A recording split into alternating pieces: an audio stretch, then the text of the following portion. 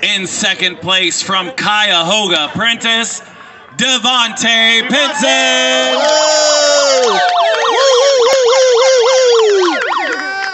And in first place from Logan County, Chad Johnson.